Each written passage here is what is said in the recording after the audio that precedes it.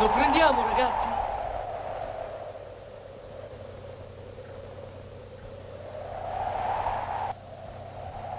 Raccontare la, la, vita del giovane Federico Fellini è un po' raccontare la vita dei nostri nonni, dei nostri genitori. Significa raccontare la vita di un bambino e di un adolescente che nasce in una società italiana degli anni 30 e vive la società italiana degli anni 30 dove severe la scuola, severe la famiglia, e dove severe sono in generale le istituzioni, pensiamo al fascismo.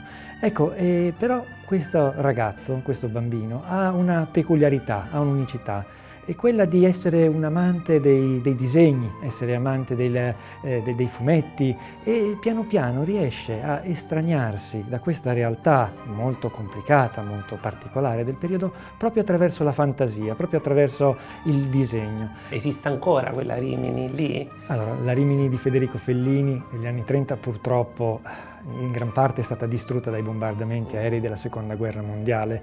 Lui stesso quando nel 1945 tornerà, dopo la sua parentesi romana, dopo la prima parentesi romana ovviamente, racconterà di un paesaggio lunare e quindi tantissimi dei suoi luoghi sono, sono ormai scomparsi.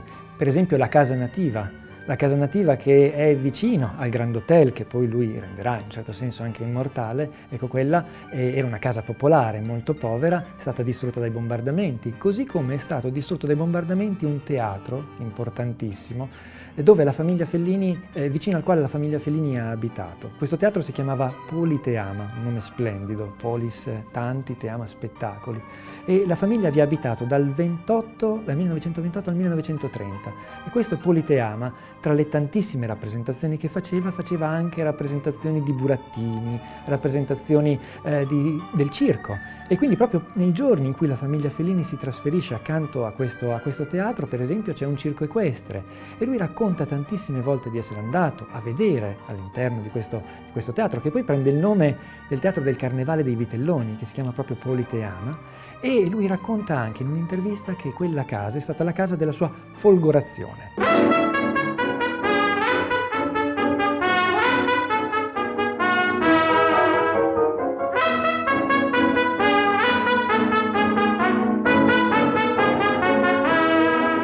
Seconda folgorazione lui l'ha avuta poi, lo dice lui stesso, all'interno del, del, cinema Fulgor. Che esiste ancora. Che esiste ancora ed è stato recentemente rinnovato, uh-huh. e appunto guardando il, il film Macista all'inferno.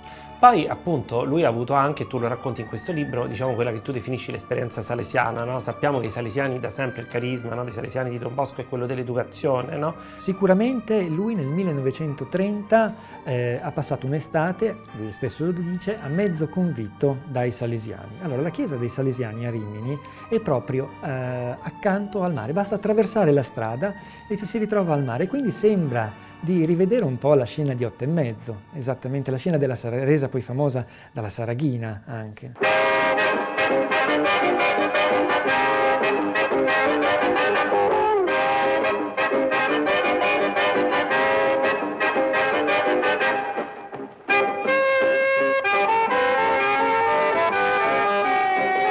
Senti, e poi insomma alla fine tra questi luoghi, molti ce li hai già raccontati in questa intervista, ce n'è uno che è quello che è un po' anche il tuo luogo del cuore o quello magari a cui ti sei dedicato di più, insomma. Allora, I luoghi sono tanti, sono tanti e mi viene in mente, molti sono ovviamente non ci sono più, come, come ti ho accennato.